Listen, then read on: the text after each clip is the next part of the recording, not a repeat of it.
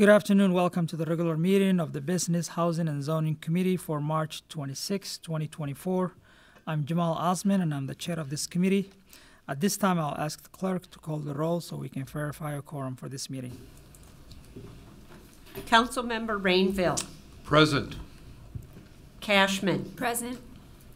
Jenkins is absent. Chowdhury. Present.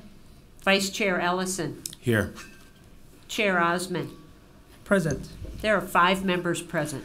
Let the, let the record reflect we have a quorum. I would like to let the public know we I heard from Councilmember Jenkins, who's not feeling well. Um, that's why she could not join us today. Um, with that, I was going to bring item, uh, walking item on on this agenda, but uh, we decided not to. I decided not to, and to give more uh, description of what that was, I'll call our guest, Council Councilmember Robin Wonsley.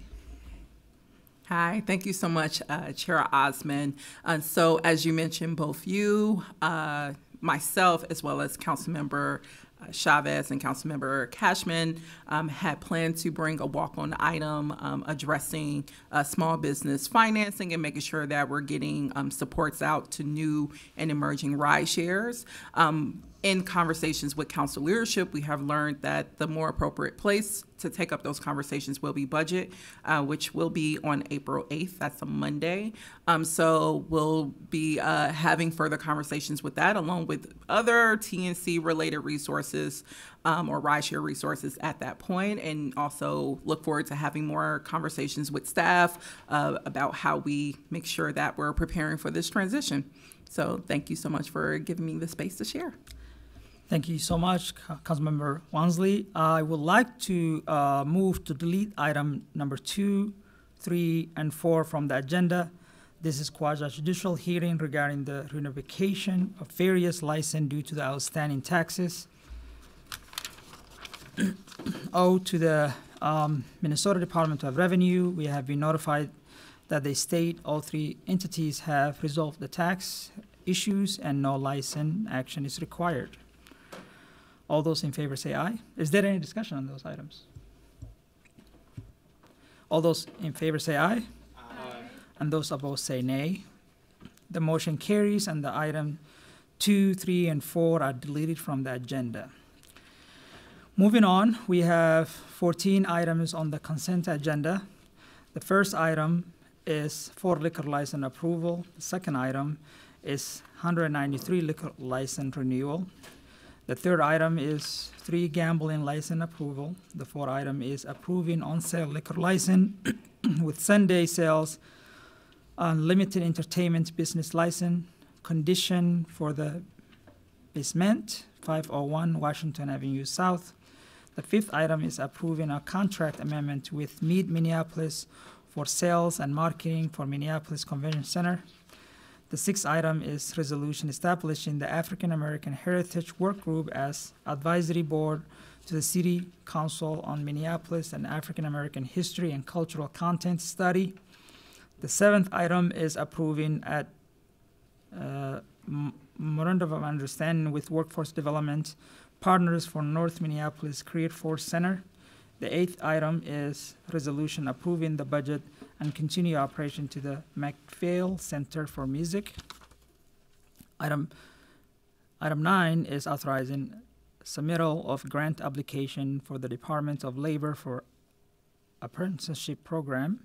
Item ten is approving a number of Affordable Housing Trust Fund award extensions. Item eleven is resolution granting approval for HC, HRA to undertake a housing project at 501, 507, 525, and 527 Humboldt Avenue North and 1315 Olson Memorial Highway through Housing Revenue Bond, as well as approving a city loan for the project. Item 12 is approving agreement with MPRB related to the downtown East Commons. Item 13 is settling a public hearing for April 16 to consider the sale of 2106 and 2110 Penn Avenue. Item 14 is referring to the staff the subject matter of ordinance relating to the zoning code amending the land use application fees. Is there any discussion on the consent agenda? Are there any items that anyone would like to pull? Councilmember Allison. Thank you, Chair Osman. Uh, I'd like to pull item number uh, 15 in our packets here uh, dealing with uh, Olson Court, and I'll ask uh, Director Hanson uh, to just answer brief questions or invite your team up to answer any questions. Um, Actually, I'll pull it for discussion, and we can, we can take up the rest of the consent agenda first. My apologies. Councilmember Rainville. Uh, Mr. Chair, if I could, Mr. Chair, if I could please pull uh, number eight, the the basement uh, liquor license for uh, separate vote and separate discussion. What number? Item eight? Well, I, you know, my numbers aren't matching up with yours. I have a Me either. different, so I'm, I'm sorry, but No, you're I, I have it as number eight, it's the basement bar. Okay. All right, well, come, is there anyone else? Councilmember Chowdhury. Thank you, uh, Chair Osman. I just had some questions on the Affordable Housing Trust Fund award extensions, and I think probably members on this body will be able to answer that. I just wanted to note that I had a couple questions. And so if we want to pull it for discussion, I'm happy to, or if I could ask that question now, whatever is appropriate.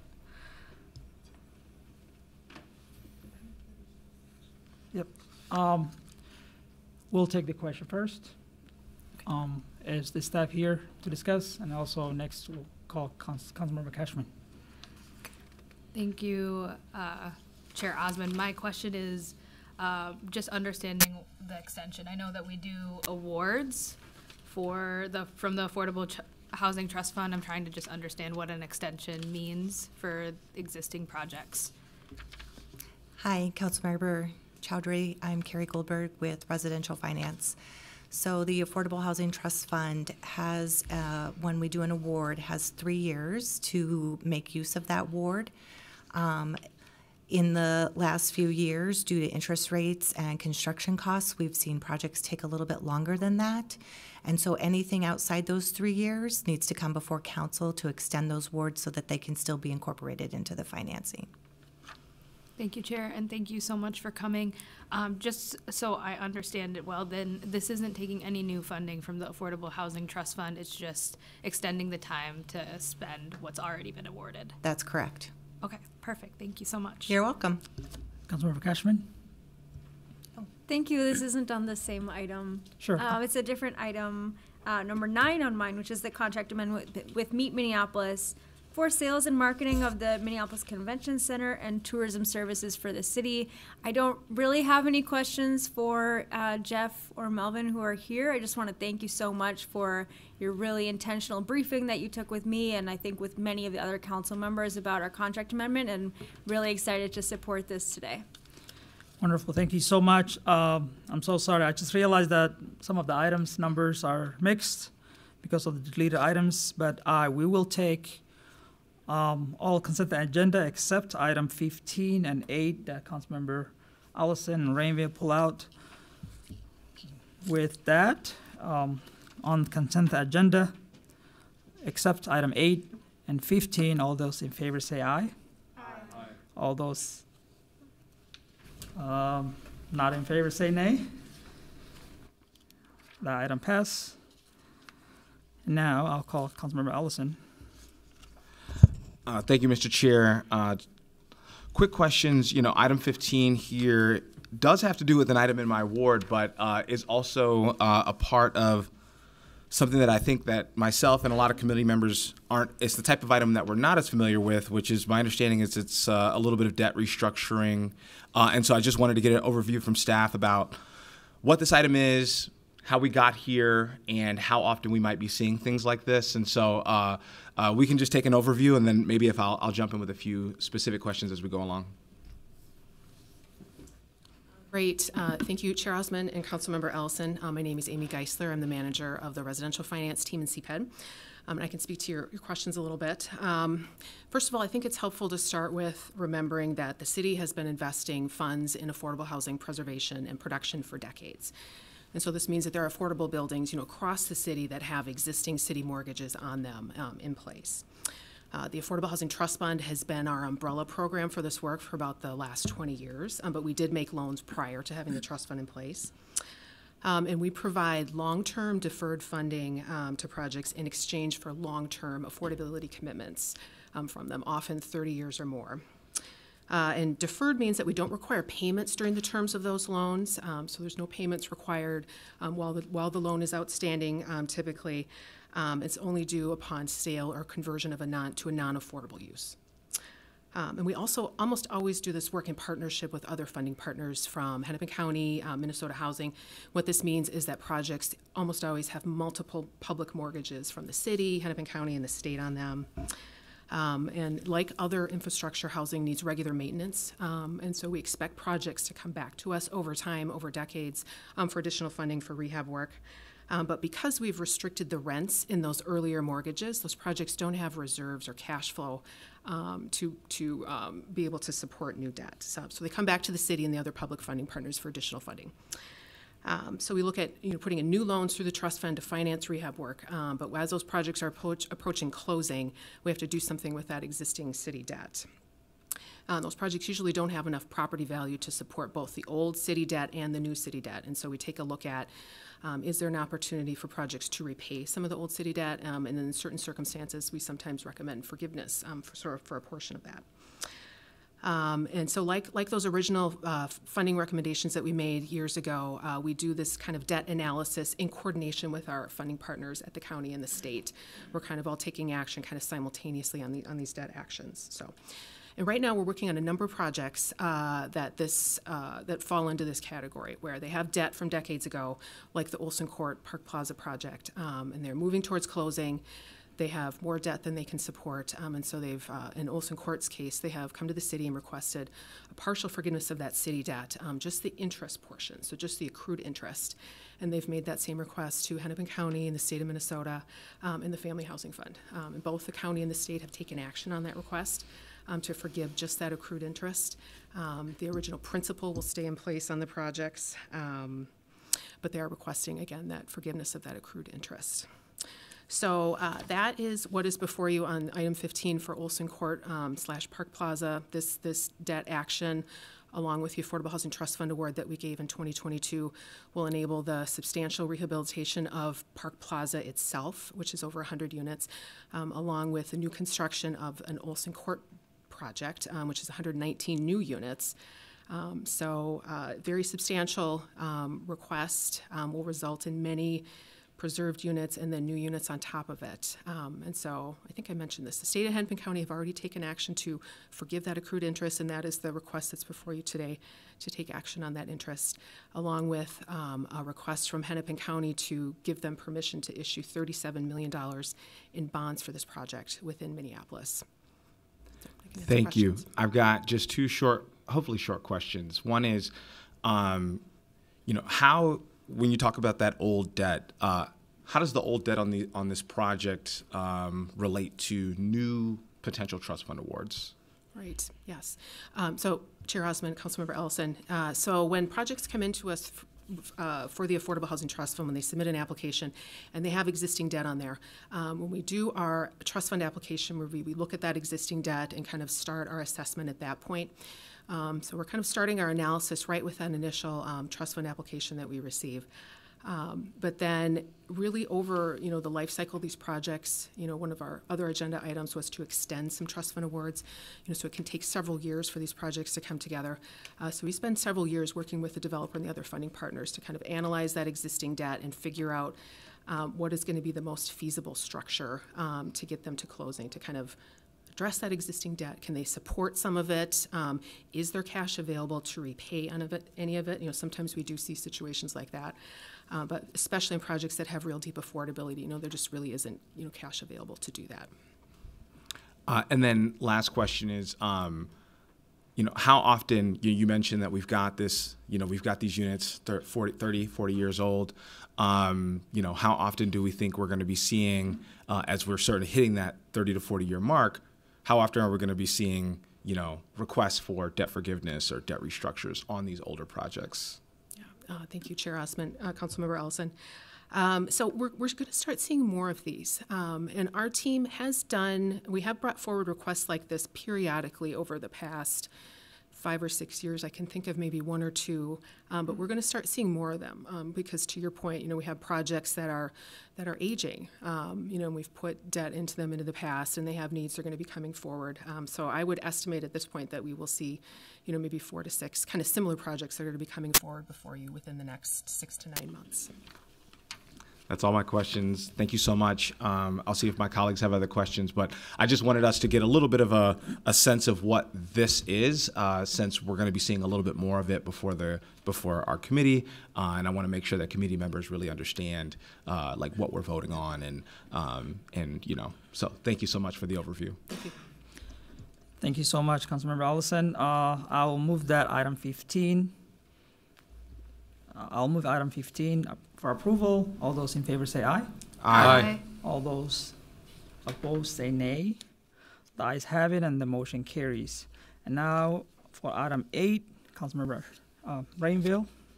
Uh, Thank you. So um, I, I have uh, uh, comments for my colleagues and uh, for Ms. Lingo about the basement bar liquor license. I did hold a community meeting that was attended by about 85 people. And I'm just uh, wondering, Amy, I know you had mentioned that as uh, uh, uh, Director Lingo, as a result of that, you had uh, suggested some conditions on that license. Could you maybe inform us of those conditions, please? Thank you, Chair Osman and Councilmember Rainville. Um, After that meeting, we did have a discussion. I had a discussion with the applicant, and we had them downgrade from a general entertainment license request to a limited entertainment license request. And the conditions that we have them signed are. Um, the licensee agrees to prohibit any current or former member of the Agora LLC from working in a managed position of the establishment or acting in a managerial capacity on behalf of the establishment. That is the prior applicant that was recently denied. The licensee agrees to provide and utilize uniforms for all employees, and the uniforms will be worn in a professional manner during all hours open to the public. The licensee shall at all times keep an accurate occupancy count and immediately share such figures upon the request to any official of the city of Minneapolis. And the licensee will close at 1 a.m. for the first three months of operations. If there are no hours-related violations at that time, the license hours will be adjusted to a 2 a.m. closure. So due to the concerns that were brought up to the committee, or to, uh, at the community meeting, they were concerned about the hours. There is an establishment that, in that same building that has a two AM, but they were concerned about the two AM. So, um, in the discussion with the applicant, we have broached the earlier closing time in order for them to get up to speed and to assuage the concerns of the neighborhood. Thank you, thank you.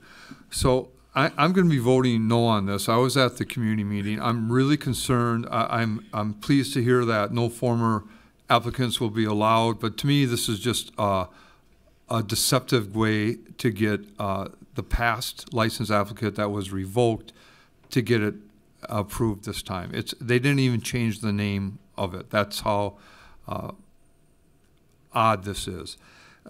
I'm really, really concerned about our lack of police officers to serve uh, outside of the entertainment district.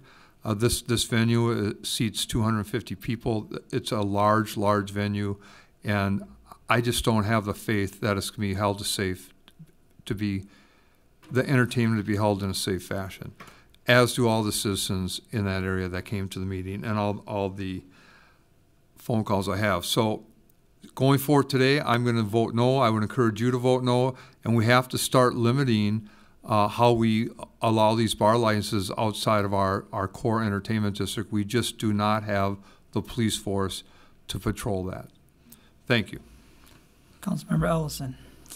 Uh, Thank you, Chair Osman. Uh, I'm not familiar with this establishment. I'm not sure what happened. Sounds like maybe a lot happened. Um, but also, staff, my understanding is that staff is recommending the approval of this application, and I trust the staff has done their fair share of due diligence. I'd love a briefing on this item before we get to full council. I don't need to sit up here and ask questions that I don't know the answer to uh, right here, right now, uh, especially operating with so little information. But um, between now and then, I'd, I'd love if my office could get a briefing on, on maybe the situation here. Uh, and I'm going to actually see if we can forward without recommendation. Uh, not prepared to vote for this because of the concerns of my colleague, and I want to respect the fact that you know this is an area you represent, uh, uh, Councilmember Rainville, uh, but also you know I do trust staff to do their due diligence and to make sure that these establishments are operating lawfully. Uh, I have to. I, I believe that staff's probably done that here, but would love would love a chance to ask a few more questions. So. Um, I'm gonna I'm gonna make that motion uh, for us to forward without recommendation. Happy to take any questions from my colleagues. Councilmember Cashman? Thank you, Chair Osman. Thank you, Councilmember Ellison. I would like to sit in on that briefing if possible. We could do that together. I'm curious how your negotiations went between the, you know, how you kind of discussed the con- conditions of their license and how we might be able to make those kinds of negotiations, you know, easier beforehand with community and facilitate the conversations and working out those details. So it sounds like you did a great job with coming to some compromises, but I would love to sit in on that briefing as well and learn more. Ellison, Councilmember Ellison. One, one last thing I just wanted to say is just you know I I, I 100% agree with Councilmember Rainville that these we've got to make sure that our businesses, especially our entertainment businesses, are 100% accountable. Um, I don't know that we can. Nightlife has to be able to exist in the city, uh, and and these and these institutions have to be able to hold themselves accountable. The safety of their patrons, the safety of the community, the safety of their employees should be on them. Uh, and I don't know that we can be demanding that that be subsidized by, you know, police, police, our police recruitment efforts here. Those exist. We're going to keep doing them. We're going to still, you know, have that conversation about public safety, um, but we we we can't sort of wait on that uh, in order to have a, a, a nightlife, and we've got to find other mechanisms to hold these organizations accountable. Uh, hopefully, staff has found some of those mechanisms. I'm excited for the briefing, and Councilmember Cashman, 100% welcome in, that, in on that briefing. Uh, but you, you know, but I want to caution us to say, hey, we can't have this these types of things until we have this other thing. It's not the police's job to be private security to these businesses. It's their job to protect and serve the neighborhoods at large. And so, it's these businesses' job to make sure that they have adequate security, have an adequate account of, of, of the law and that they're following it. So, you know, I just wanted to, to, to name that. Councilmember Rainville. Thank you, Mr. Chair. And as always, Councilman Ellison, you are so wise and your life experience speaks to you. You're, you're correct. It is upon the business, and I do not have faith in that business. In fact, you have a have a, a person who wants to uh, get a license to operate in the city of Minneapolis, and he didn't even come here today. So that's what he thinks about my opinion, perhaps your opinion. So just want to note that for the record. He's not here. Councilmember Chowdhury. Thank you, Chair Osman. I really appreciate the motion to forward without recommendation, and I appreciate Councilmember Rainville kind of like alerting us to some of the concerns that he ha- he has.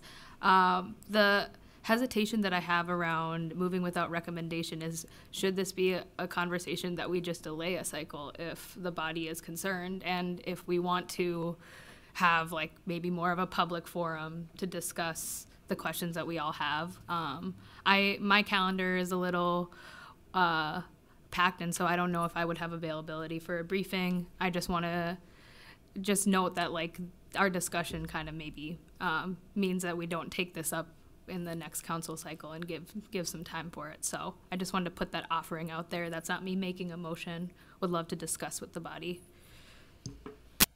Councilmember Ellison. Uh, I'd love to get uh, an opinion from staff. I'm I, as far as the delay or forwarding without recommendation. I'm pretty. Um, I'm sort of uh, neither here nor there on that. Um, I'm happy to sort of move at this pace. I'm I'm totally comfortable getting a briefing between now and full council. Um, if it's you know, it'd be it'd be great if staff could help us. You know, are there some considerations that we have to take in? Uh, yeah. Thank you, Chair Osman, Councilmember Ellison, Councilmember Chow- uh, Chowdhury. Um, I am available to do a briefing. We can also do a briefing memo if that would be um, easier for those who aren't available. This license has been in process for quite some time, so I know the applicant is interested in moving forward. But um, if you did want to delay it, we could probably make a case for that as well. I know that they want to get up and running, but they do want to be in good standing. So I will leave that to your decision, but I am available to do a briefing and a memo as well.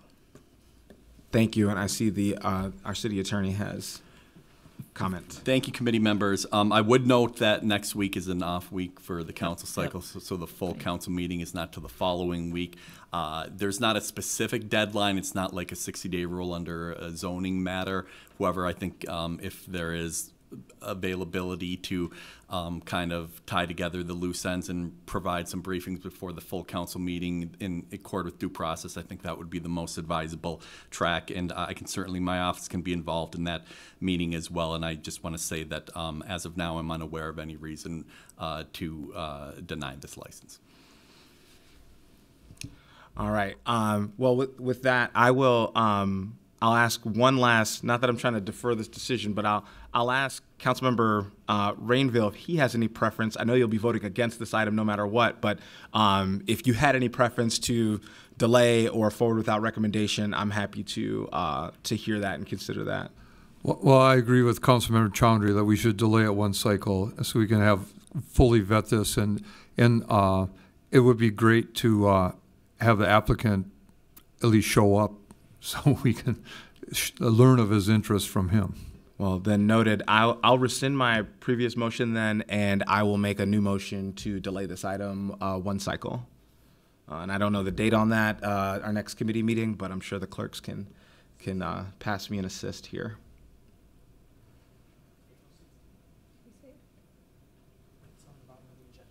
Oh, If it's delayed one cycle, it would not be April 16th, it would be,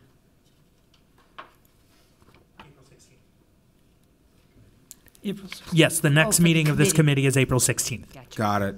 All right, so delayed to this committee, April 16th. Um, so yeah, that works for me. Councilmember Chowdhury. Thank you, Chair Osman. I'll second that, and I'll just uh, put in a comment that I, I think if the applicant wants to be in good standing as a council member voting on it, I would appreciate their presence. Um, and I think this is a good example of us being able to do some due diligence um, together as a body when uh, a member brings it forward. So I'm happy to second. Um, okay. Um, with that, uh, Councilmember Allison to delay this item for two cycles, right? One cycle, one cycle, April 16. All those favoring say aye. Aye. And all those opposed say nay. Uh, the item carries and the motion, um, is approved. Um, with that, our next item is a joint consent item with Minneapolis Community Development Agency Operating Committee to authorize to authorize an amendment to the Convention Center. Hotel- Mr. Chair, I'm so sorry to interrupt. I think you've maybe missed item number one on the agenda. No, we're still working on the consent agenda, I believe. Yes, con- It's a joint consent item. I apologize. Thank you. Sure.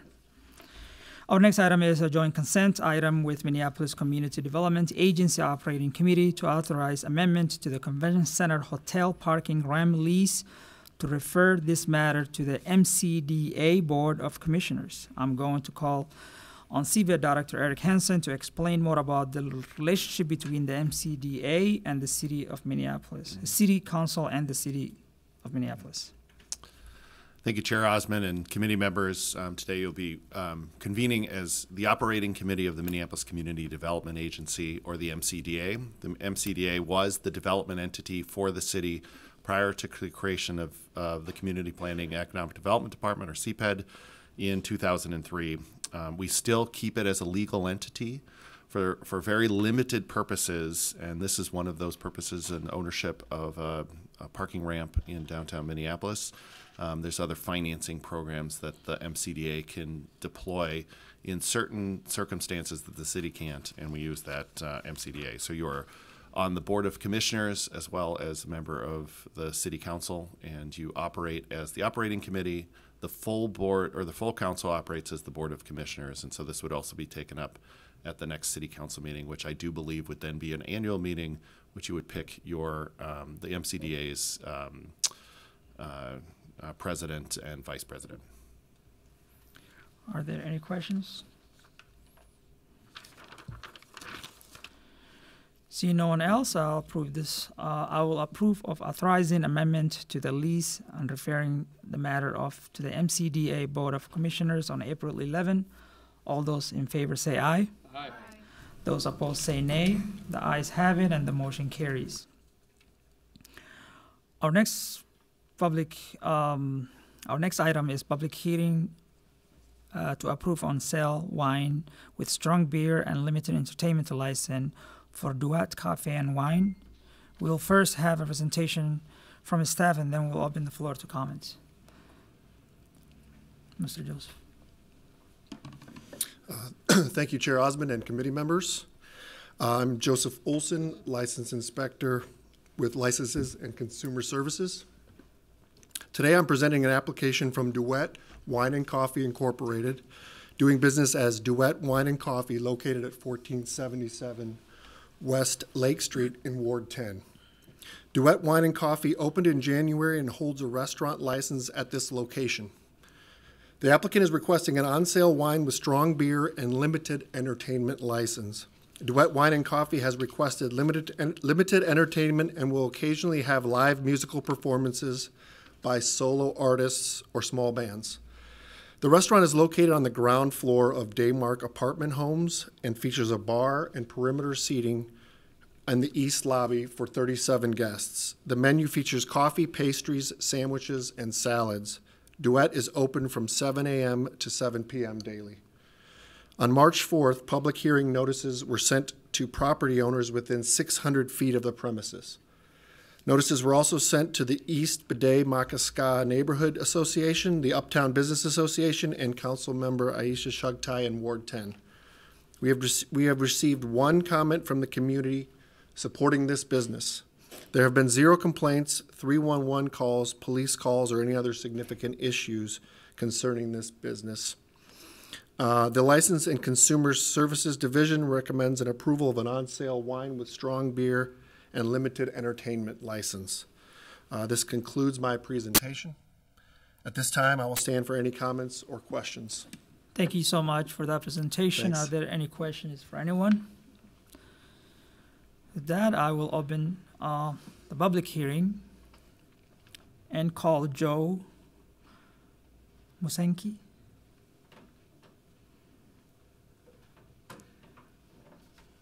You want my business, other business partner up? Yes, Celia too. Yep.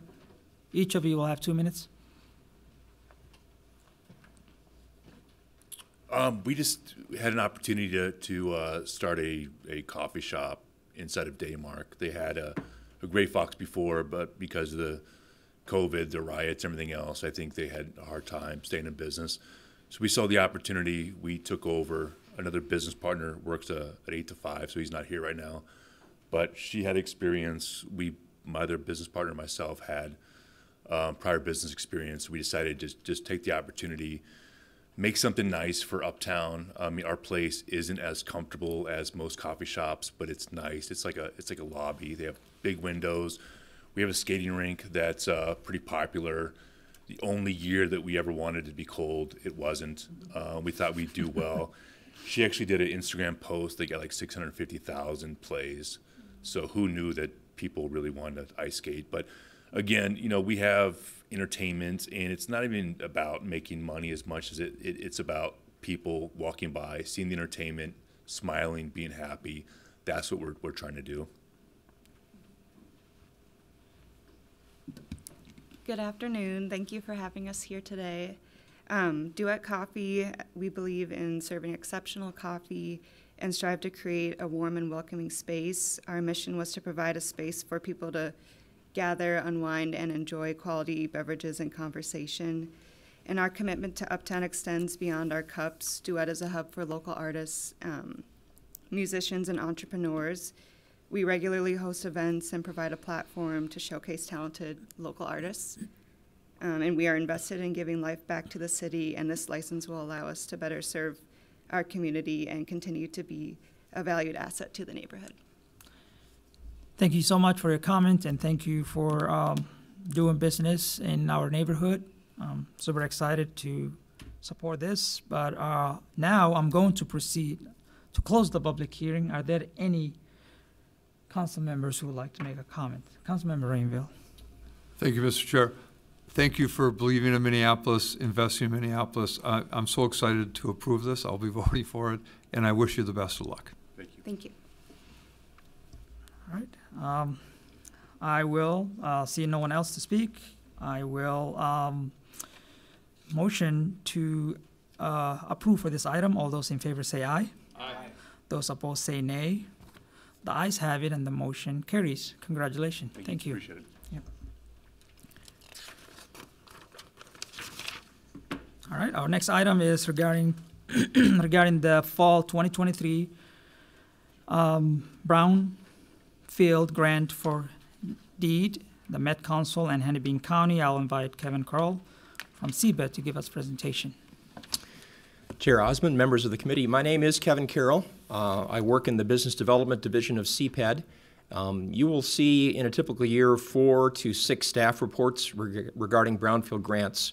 Um, it's typically kind of a low profile type thing, it kind of flies under the radar, but there's millions of dollars involved every year. And our communications staff suggested to us recently that it might not be a bad idea to come and give you a little overview about what brownfield grant funding is so that when you see these uh, staff reports in the future, you'll have maybe a better understanding.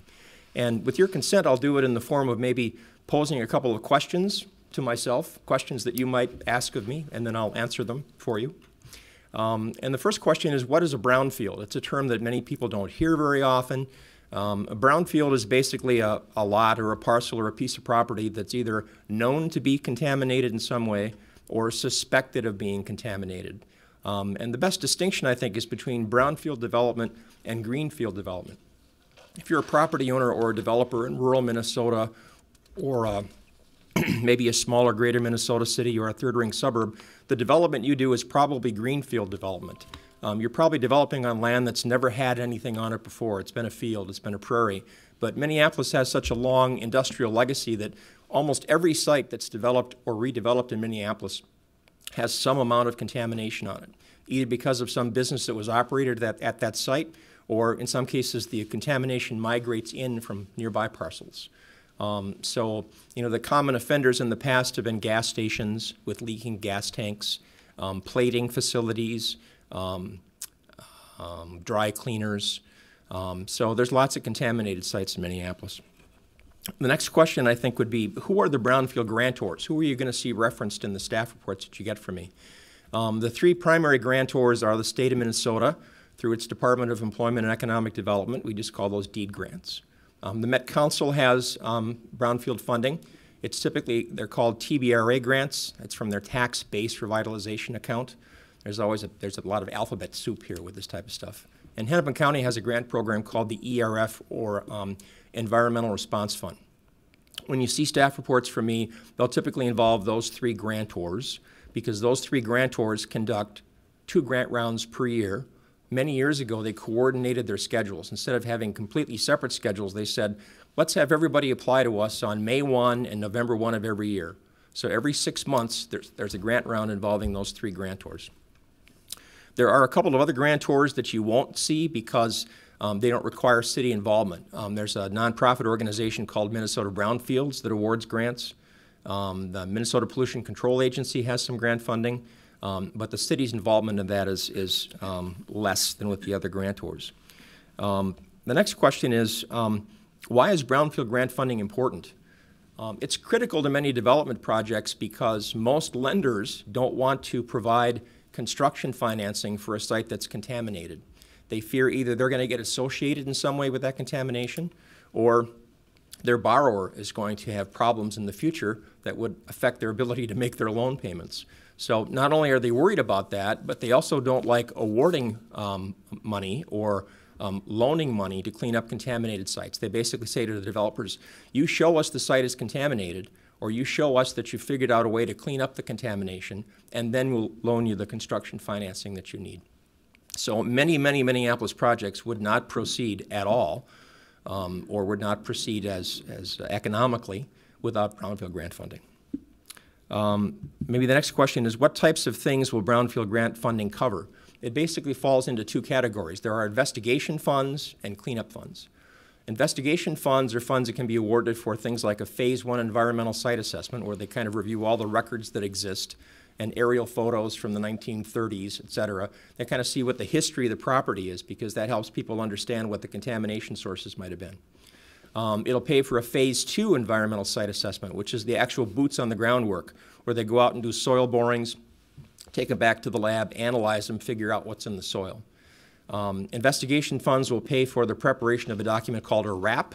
It's a response action plan. It's a document that the Minnesota Pollution Control Agency requires when a site intends to clean up a site. They'll say, show me your RAP, let me know what you intend to do. Um, and investigation funding will also pay for hazardous materials survey.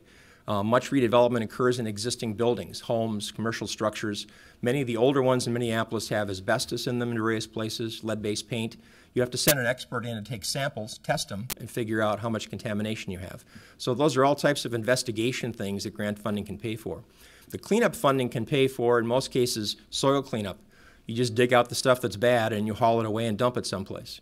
Um, it'll also pay for remediating a contaminated building. You can go in and get out the asbestos and the lead-based paint.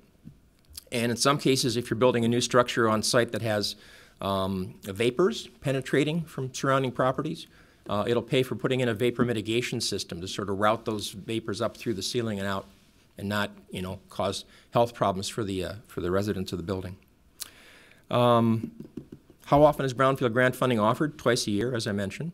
Um, the staff report you have today is a staff report that uh, basically asks you and the council to accept grants that were awarded in the November 1, 2023 grant round. Um, many people ask how much money is involved. Um, DEED offers in every round about $4 million worth of grant funding. The Met Council offers about two and a half million. Hennepin County is more variable, but I would say they average probably a, a million and a half and that's per grant round. So you double that per year. So for DEED, it's about eight million a year. For the Met Council, it's about five million, um, and for Hennepin County, probably about three or four million. Um, and I've been doing this work for this is the 19th year I've done brownfield grant work for the city of Minneapolis. Over that span, we've typically averaged, we've gotten probably 25% of the money awarded by DEED, about 50% of the money awarded by the Met Council, and probably 80 to 85% of the money awarded by Hennepin County. So we've been pretty successful. Um, and in terms of how much um, we've actually gotten for the city, the average over the last 18, 19 years has probably been five to six million dollars a year. I think our high point was 12 million in one year. Um, and then when the economy's slower, you have COVID problems and supply chain problems, it drops a little bit. Um, I think uh, last year we were probably in the four to five million dollar range. So there's a significant amount of money that comes through to help Minneapolis projects. Um, you may be wondering what the city's role is. If the money comes from other entities, why is the city involved? Um, we're involved because, for the most part, all these grantors require that the applications technically come from the jurisdiction that the project is located in. So if it's a Minneapolis project, DEED and the Met Council um, expect the applications to actually come from the city of Minneapolis. We don't write the applications. The developers and their consultants write the applications, but we have to review them and approve them and then we submit them, and then the money is awarded to the city on behalf of these projects. It, it's a conduit sort of transaction. And that's the way the money flows also. It gets awarded to the city, the developer does the work, they give us the receipts and invoices, we pass them back to the grantor, the grantor approves it, they send the money to the city, we pass the money back to the developer. So we're in the middle. Um, and these grantors see the city's role as not only just a paperwork shuffling, but they see us as the entity that has to review the projects to make sure that they're number one eligible. They don't want us submitting applications for projects that aren't eligible for their funds. And secondly, in the last five or 10 years especially, they're really emphasizing project readiness. They don't want to award money to a project that either doesn't go forward at all or gets delayed or doesn't go forward on the timetable that's outlined in the application. So they expect the city to do some vetting um, their view is that when the application comes to them from the city, we've reviewed it. We've determined that they've got all or most of their financing, they've gotten their land use approvals, that there's neighborhood support for the project, um, and that the city supports it. They don't want to award money to a project without knowing that the city supports it, which is why they want a resolution. So when you see me, you know, twice per grant round, the first time you see me, not in person probably, but through my report, uh, the first report is seeking your permission to submit certain applications to them. Uh, They have to see a resolution of support from the Minneapolis City Council before they will award any money to any project in Minneapolis. And then when the funds are awarded, then I have to come back to this committee and to the council and get the grants formally accepted. They will not sign a grant agreement with the city um, until the city council indicates that they're in favor of the money. Um, and, and frankly, that's why you don't see me very often because these are often un, uncontroversial, non-controversial projects. Everybody's in favor of cleaning up contaminated sites in Minneapolis. So um, that's why they're often on consent. Um, so the city's role is not only uh, to promote these grant programs and get information out to the development community about what's available, but we're also the advisors, the facilitators. Uh, we review and edit the grant applications to make them as strong as possible. Um, that's why the city's had a, a pretty good record of success uh, in this realm with all the grantors because we help people as much as we can. And one of the final things I'll say is that one of the recent changes, I think, just in the last couple of years, is the amount of time and attention that we're devoting to try to help new and emerging developers understand the system. Because frankly, it's kind of complex, and there's lots of steps. And new and emerging developers have probably never been exposed to these terms or these procedures before. So um, my view is that we, as I'm not an engineer, but you know I've been doing doing this for 19 years, so there are things I can do to help them understand, you know, which are the best grantors to apply to. Should you be in this round or the next round? You know how to how to package your application in the way to generate the greatest amount of success. So we see that sort of facilitation advisor role as being important. So um, those are the questions that I had for myself and my answers. Um, on today's agenda, you've got a fairly typical um, staff report regarding a round in which there were um, 12 grants awarded by these three grantors to 10 uh, Minneapolis projects. The reason there's more grants than projects is because you can apply to one, two, or all three of the grantors. Um, it's about $4.3 million worth of funding. Um, there were a total of 10 projects, seven housing projects, two commercial projects, and one park project.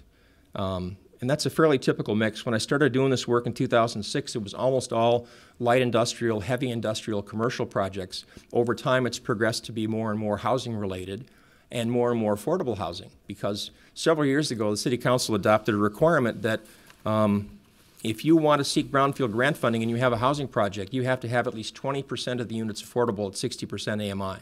Mm. Because we, in most cases, the market rate projects, you know, don't need as much help as the affordable projects. So a lot of them go through the system. So what we're asking today is your support for and approval of um, these seven grants that were awarded to these Minneapolis projects. And uh, I hope I haven't talked longer than what you wanted or needed, but if you have any questions, I'd be happy to try to answer them. Thank you so much, uh, Mr. Carl, for that presentation. I do have a question. I may I'll give you maybe like two questions. Um, do we have an estimation of how many um, contaminated parcels are out there, like estimation in the city of Minneapolis? And um, is it mostly a private owned or public owned lands? And the last one is how would um, someone know that their land is contaminated uh, and what's available for small owned family houses that are might be um, uh, might be contam- contaminated for that. Uh, can they apply this kind of grant? Sounds like your presentation. It's mostly um, big projects, but um, what's available for small family owned business homes? So your first question was interesting to me because when I started doing this work in 2006, that was my first question. I, I, said, you know, I was in the office for a week or two, and I said, "Where's the map of the contaminated properties in Minneapolis?" I thought, you know, there would be something like that. There really isn't. Um, and the reason for that is that contamination is often suspected, but it's usually not confirmed until someone actually goes out onto the site and does some testing. Um, there, there are probably you know, hundreds, maybe even thousands of parcels in Minneapolis that are contaminated, but no one really knows for sure because there's a house sitting on it or a business sitting on it that's not being developed or redeveloped. There, redeveloped. There's no need to dig into the ground and figure out what's there. Um, what I typically tell people is that if you have a, a, structure in Minneapolis that's, that's more that was built before 1960, um, uh, or if you um, are located anywhere near the downtown area, or if there are any commercial businesses anywhere near you, your site is probably contaminated in some way, either soil contamination, heavy metals, petroleum, um, or there's contamination in the building, asbestos or lead-based paint. I encourage everybody to get their properties tested.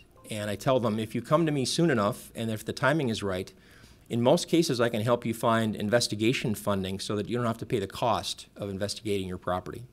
Uh, that's a long answer to a short question, but um, I guess the bottom line is that uh, there's, there's really no way to know definitively which properties are contaminated until some testing is done. Uh, as to your question about um, uh, what types of properties, uh, public properties versus private properties, et cetera, can get grant funding, virtually any site is eligible for contamination cleanup funding. Um, Minneapolis, as I understand it, has an inventory of five or 600 city-owned sites. Some of them may be contaminated. Um, we're talking about in the upcoming round, which is the May 1 grant round, submitting an application to the Met Council for a new scattered site investigation program that they have. And if we do apply and if funds are awarded to the city, the city can then use that money to investigate its own properties when they're getting ready to be sold or redeveloped. So that's an exciting development. I'm, I'm personally excited about that because it's, a, it's a, an option, a grant funding option that we've never had. Um, did that answer most of your question? Yes, um, thank you. So there are resources out there for people to um, testing resources. Yes, the, the investigation money, frankly, is easier to get because you don't have to prove that you're ready to actually redevelop the property. There's a lower threshold, uh, a lower bar to clear. It's harder to get the cleanup funding because you know, in all candor, all these programs that I've mentioned, the DEED program, the Met Council program, the Hennepin County program, they're called contamination cleanup programs, but they're really almost more economic development programs in the sense that they usually get more applications than they can fund, so they score and rank all the projects. And they score and rank them on factors like how many new jobs are being created, how many jobs are being retained. When the new project is done, how much are you increasing the market value of the property? How much are the property taxes going up? how many new housing units are you creating? So when you have a scoring system like that, it favors the bigger projects. Mm. You know, and if you've got you know a, um, a two-story, four-unit apartment building, and you need cleanup funding because you've got contamination, it's a little more challenging to get it because you're competing against maybe a, a 200-unit apartment building. Um, so that's where the, the staff help comes in and trying to figure out, you know, what's the best time to apply? How do we position this? Which grantor do we go to? I mean, I, am the show me the money guy. They come to me and I try to find them the best possible source. And we're not always successful, but more often than not, we are. Thank you so much. Uh, Councilmember Rainville, do you have a question? Councilmember Ellison. Uh, thank you, Mr. Chair. Uh, Mr. Carroll, just wanted to thank you for this presentation. Uh, you know, I think this was like one of the first, uh, when I was a first time council member, I, was like one of the first things where I was like, what is this? What is this exactly? And got a similar presentation as this and um, was around when we added the requirement for affordable housing projects. And um, just want to thank you for this work. It is really important. There's, there's the big policy around environmental you know, review and environmental health and all that kind of stuff. And that stuff is can be really attractive and it's fun. And this is just the day to day. Like this is the day to day of how we're making sure that sites are clean. It's the day to day of making sure that uh, affordable housing projects aren't being built in, um, uh, you know, contaminated soil.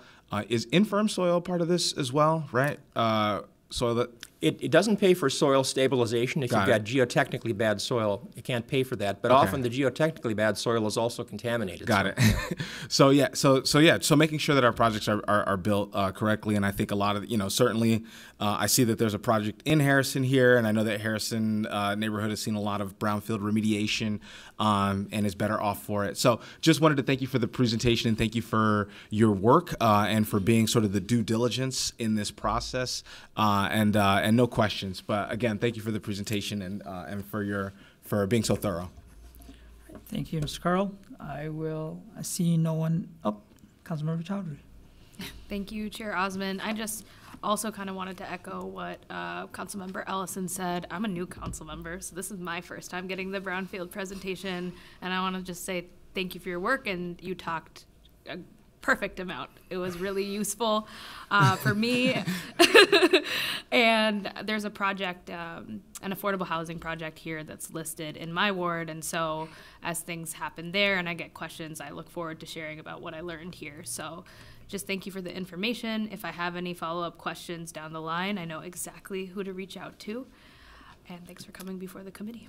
Well, that was one of the goals today. And I encourage all of you, as you start talking with people about new projects, You know, they're, they're often thinking about things other than contamination, but it's, in my view, it's important to consider that right at the outset because far too often I get people who come to me and they, they come to me like the day after a grant application deadline. And I say, well, maybe I can get you money, but you're going to have to wait six months for the next round. So you can't start talking about this stuff too early. And if you encourage people to, you know, call me up, you know, I've, my personal cell phone number has been on every email I've sent, email I've sent for the last 19 years. You know, call me weekends. it doesn't matter. It, it, it saves me work if I can get to them at an early stage and help them out at the earliest possible time. Great. Thank you so much. Uh, seeing none, I will move approval for this item. All those in favor say aye. Aye. Those opposed say nay, and this item is approved. Um, seeing no further business before us, with no objection, I will declare this meeting adjourned. Thank you so much.